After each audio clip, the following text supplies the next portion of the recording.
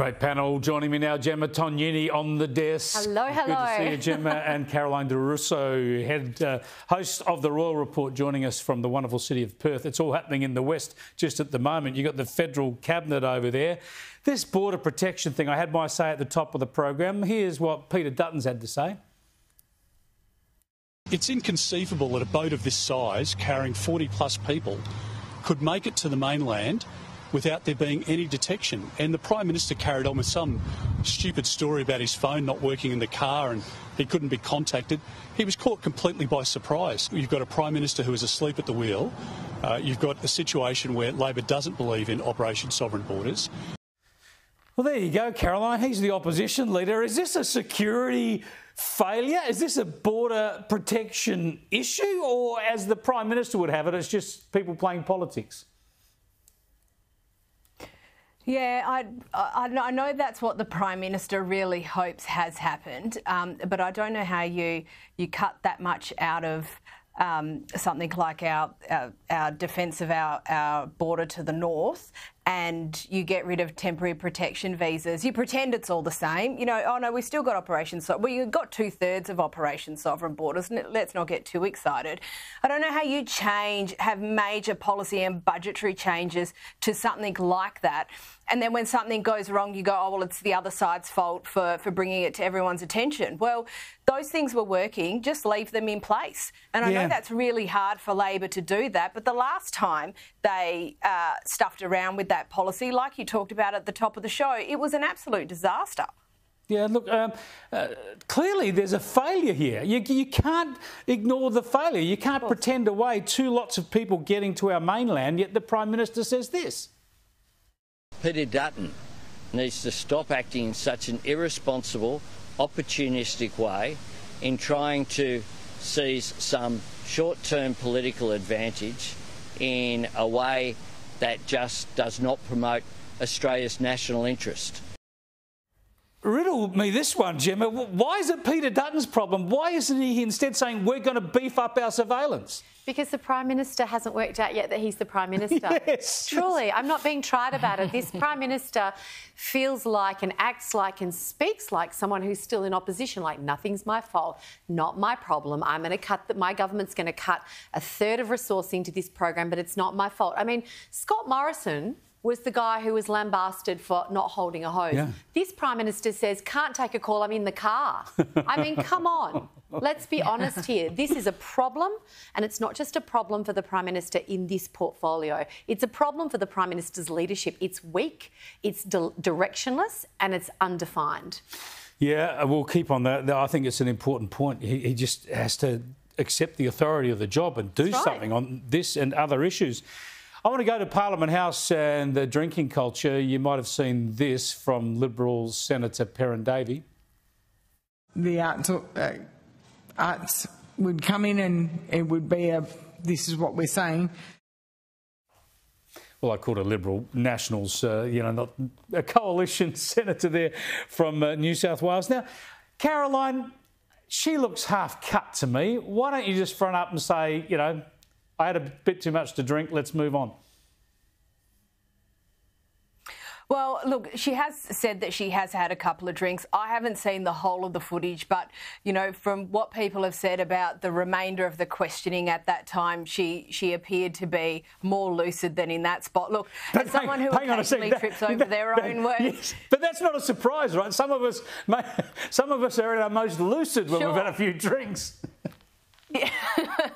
Well, as someone who's not much of a drinker, I, I kind of want to, you know, steer clear out of this because I don't want to be a wowser at the same time. I think people just need to be responsible. But the thing that I find ironic about this whole conversation is when you look at this issue and you talk about the, the culture within Parliament House and, and the people who, uh, you know, are shouting down about drinking in Parliament House, often they're the same people who want to, you know, decriminalise drugs. And you're in somewhere oh, yeah, like the yeah. ACT where they're like, sure, you can sit out the front and smoke meth, but whatever you do, do not have a wine before an inquiry. That's right. Absolutely. That's uh, right. Spot on. But I'll tell you, I, I think Perin Davies handled this reasonably well. As you said, she she said she's had a couple of drinks and, uh, and on she went. We can all make up our own minds. We can all see what she said.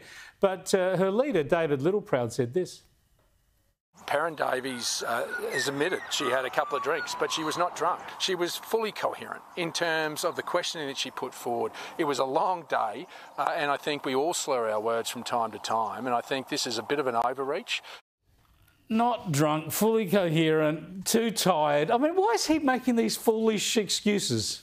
Don't know. All I know is that there are some days where I'm genuinely too tired to function. And, and, and I think you've probably been on the receiving end of some of my messages on days like that. But look, the other, the, I totally agree with what Caro said. I'm on a furious unity ticket there. The ACT and, and, and more broadly, you know, these people who want to ban everything. But Australian workplaces are mostly dry.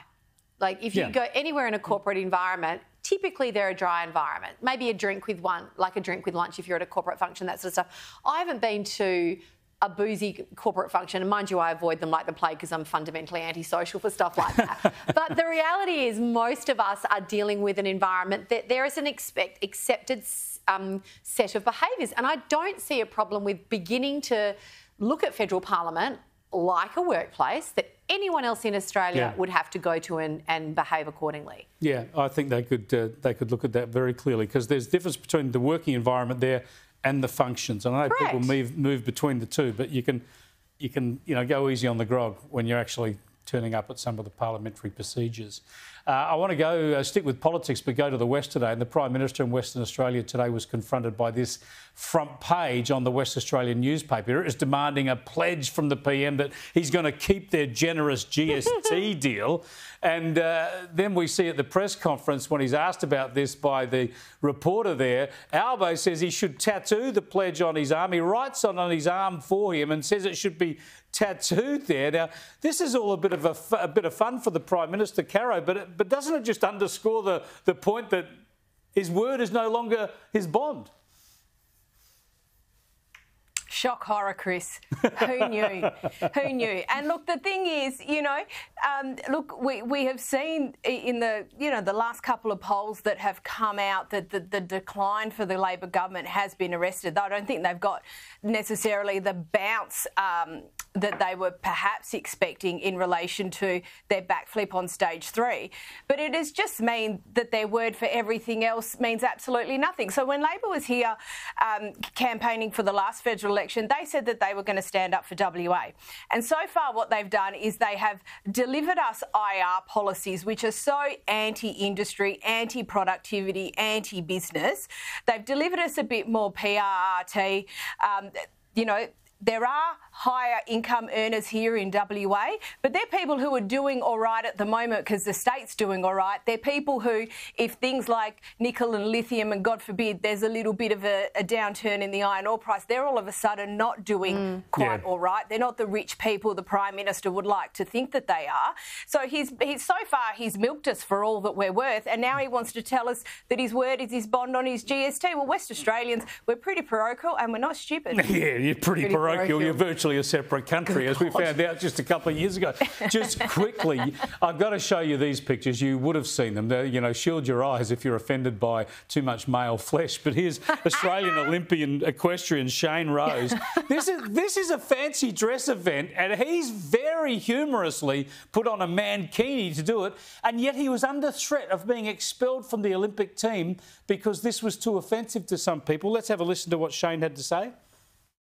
Something I haven't worn before, and, and it's hmm. not the most comfortable attire, and I, I can't no. see myself wearing one in, in the near future. No. Luckily, I've got a great saddle sponsor, and and uh, and my, my saddles are really comfortable.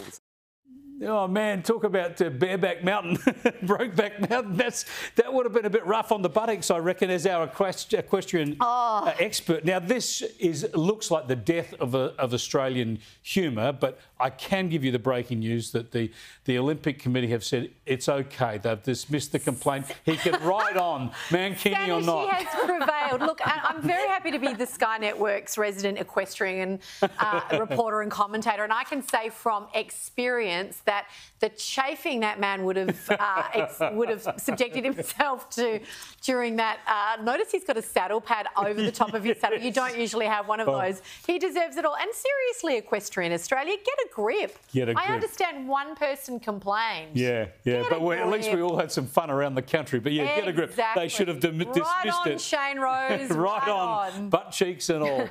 Thanks for joining us, Gemma and Caro. We'll catch you again next week.